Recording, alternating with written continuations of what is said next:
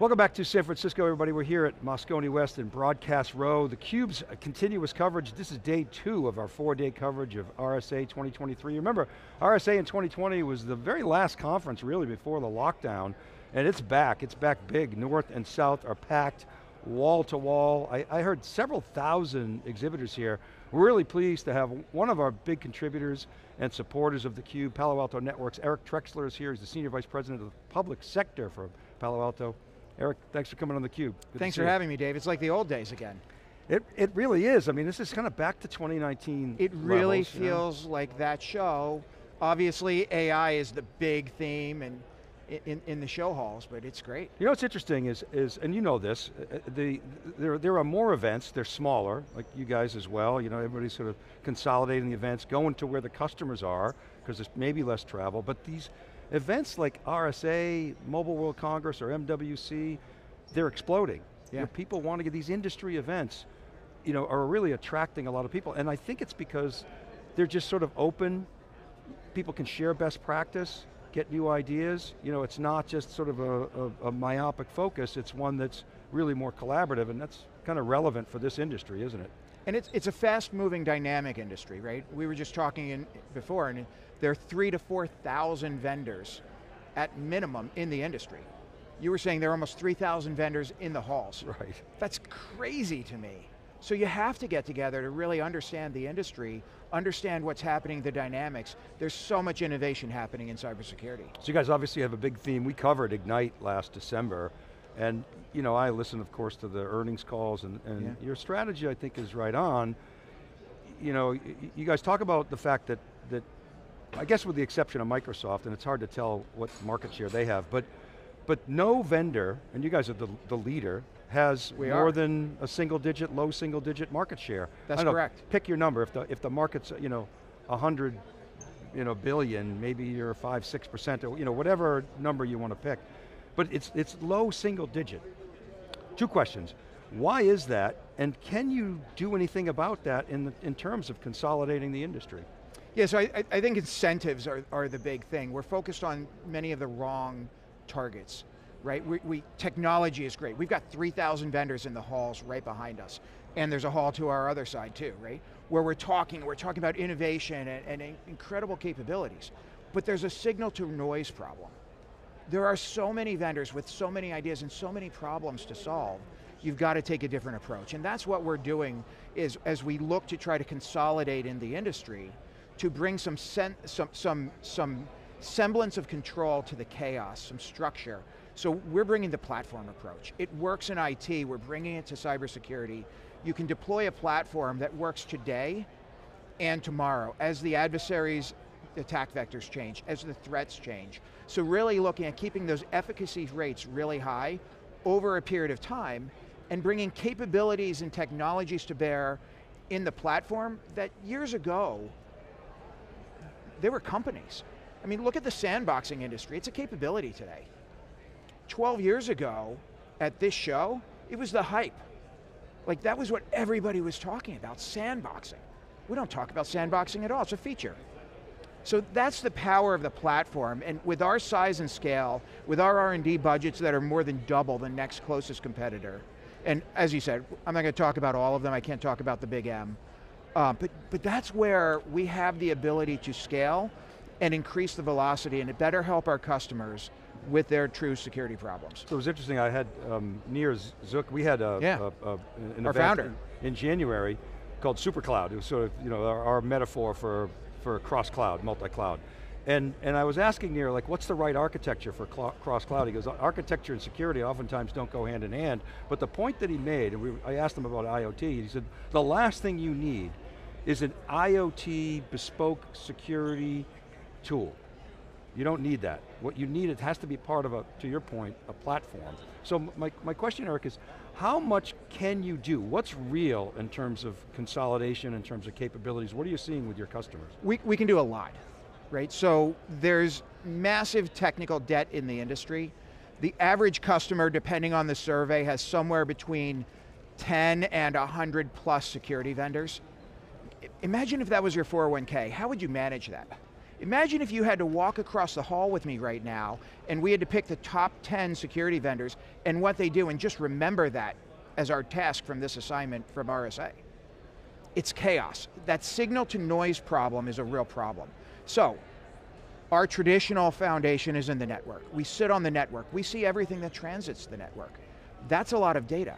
We've got endpoint capability. As we look to automate the SOC, you now see the network, you can correlate it with the endpoint, and the brains in the SOC, automation and, and, and, driving that capability using machine learning and artificial intelligence, some of the incredible things that technology brings to bear in 2023, allows us to deal with the workforce problem too. Right, so that consolidation. But the problem, Dave, is if you've got 100 vendors in your ecosystem and you're trying to be the integrator, I've yet to see a customer do integration well. And the government customers definitely cannot do integration well. When you say workforce problem, you mean the lack of talent? Lack of talent. In the US, depending on who you look at, right, cyberseek.org says we have somewhere around 600 to 700,000 jobs in cybersecurity today unfilled. If you look at cybersecurity ventures, they're saying there are over 3 million jobs by 2025 in cybersecurity unfilled. We don't have enough people. We're not going to hire enough people. You've got to bring technology to bear. You just can't bring a hundred distinct, different technologies to bear and then expect them to work together and drive automation and expect to apply artificial intelligence of the future against those problem sets. Artificial intelligence models have to be tuned, and to tune them, you have to understand the data. So you're saying the formula, definitely of a step is consolidation. Are you seeing, you mentioned technical debt before. Sure. Eric, are you seeing people actually, I call it GRS, are they actually getting rid of stuff, something that we don't often do in IT? Have you seen that inside of your government clients? They are, so I won't talk about any specific initiatives we're working on, but you could look at something like DISA, the Defense Information Systems Agency, where they're taking the joint regional security stacks. These are stacks, 40U stacks of hardware that are deployed, and they're looking at moving workloads to the cloud with a program called Thunderdome. They're bringing SASE to market.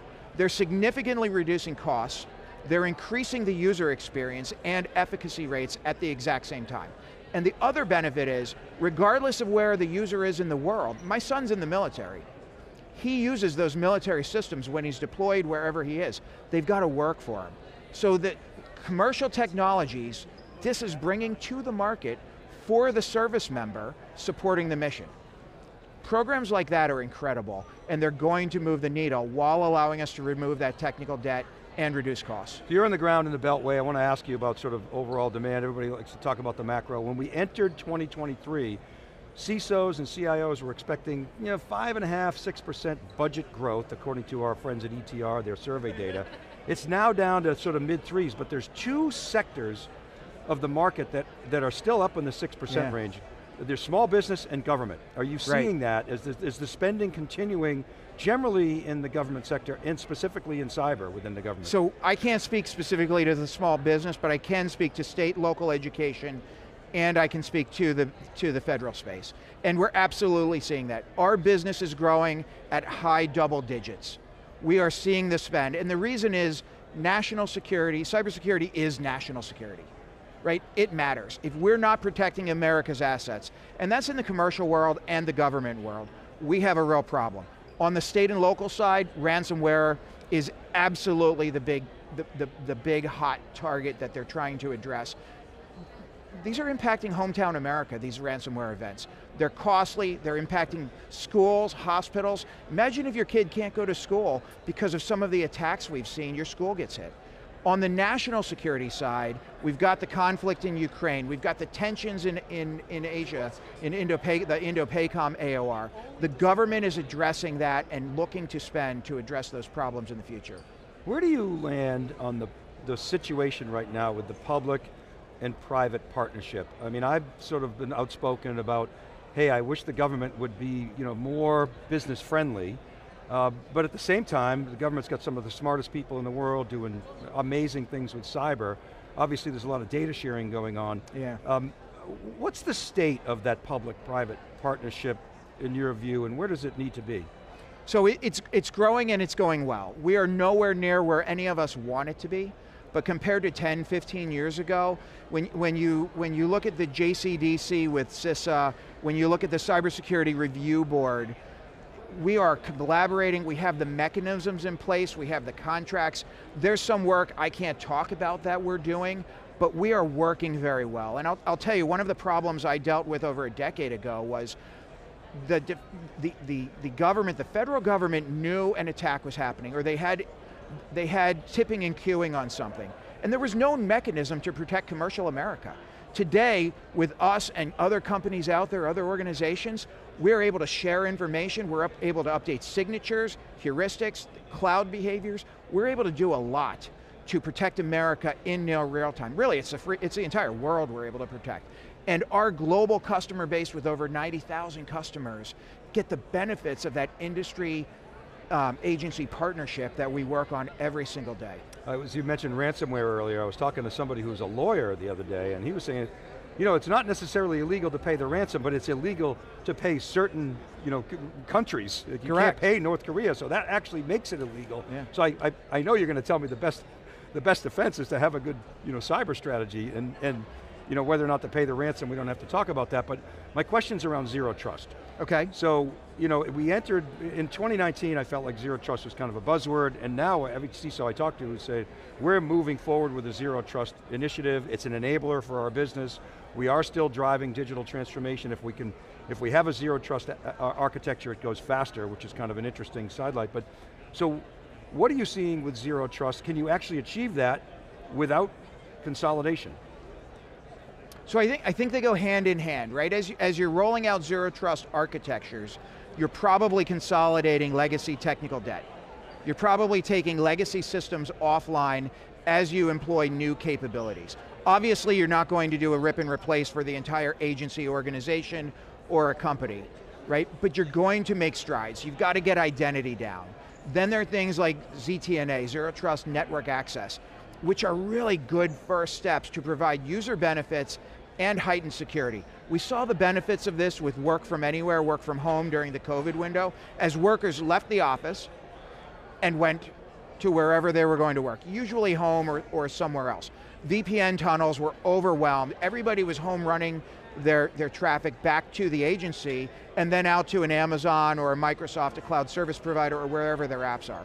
ZTNA as part of Zero Trust really eliminates a lot of those bottlenecks and provides for that better user experience while providing security any place, anytime for any user, any device, right? So now I'm using my iPad and I'm using my work laptop in the same manner. I might even use the, this home laptop that my, that my son is using for school.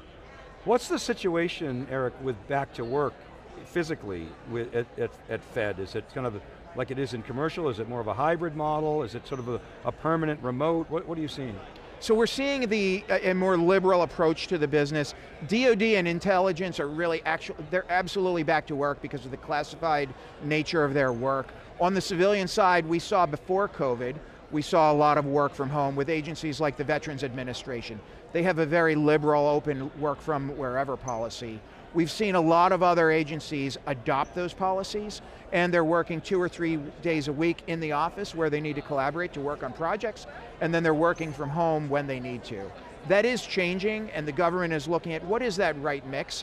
From our perspective, we're back in the office, we're in customer meetings, we're working with them, really driving technology solutions to, to solve their hard business problems. So on a quick question to follow, follow up on that, so you know how, you know, pre-cloud you would over provision. Right. right. so you had enough capacity, you know, Black Friday was always the, the best example. You'd, yeah. You'd have so much capacity, but you needed it for Black, for Black Friday, and the cloud, to a great extent, changed that. We could sort of optimize. Are you seeing a similar over provisioning for the unpredictability of remote versus back to office, and, and, uh, is, and how are you helping your customers deal with that unpredictability? So in some cases we are. We see a mindset where we have to provision for worst case. Mm -hmm. But the beauty of the cloud service providers is our technologies, we can scale them up and down with the workloads based on where you are in the world, if the workload shifts, based on what's happening in the world. The CSPs allow us that infinite scale, and that's one of the reasons we built the backbone of many of our technologies on those cloud service providers. We get the 99.99x uptime, and we get the extensibility and scalability that our customers demand.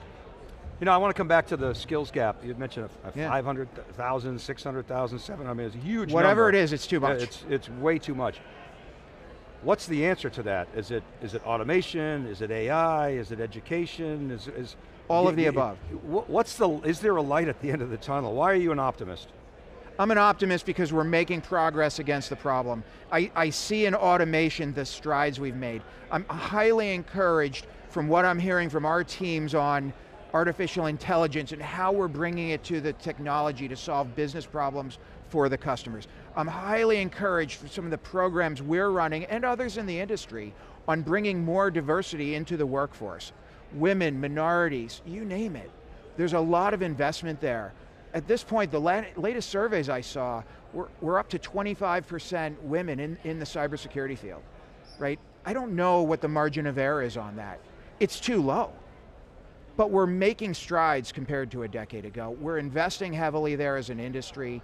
There are jobs, and the message I would say is, there are jobs. If you're, if you're a young person trying to figure out what you want to do in the world, you don't have to be a comp sci major. You don't have to be a double E. You don't have to have a mathematical degree. Some of the best cybersecurity professionals I've seen are musicians, artists, you name it. There are jobs in this industry. There are programs to train you both before you enter and while you're in, and they pay well. There's a lot of opportunity. But so couple that with automation, couple that with artificial intelligence, hopefully we see additional consolidation to a platform-based approach, stop some of this chaos, take some of the, you know, get, get some of the signal out of, take some of the noise away maybe is the best way to put it. I am an optimist. That's interesting. Uh, uh, um, you, you're talking about, I mean, ask you, what skill sets would you say are sort of most interesting to expand that, that base? It's not, you're saying, you know, double E necessarily, you want those, but what kind of skill sets do you look for? What kind of characteristics? Is it curiosity? Is it creativity? What are the, what are the characteristics? S- some of the best reverse engineers, they're artists, they're musicians. They have that creative mindset, right? If you have a computer programmer, it's a very linear, very framework-based approach many times. The adversary doesn't have any restrictions. Why are we putting restrictions on ourselves? We see some of the most creative capabilities come out of our, our creatives people.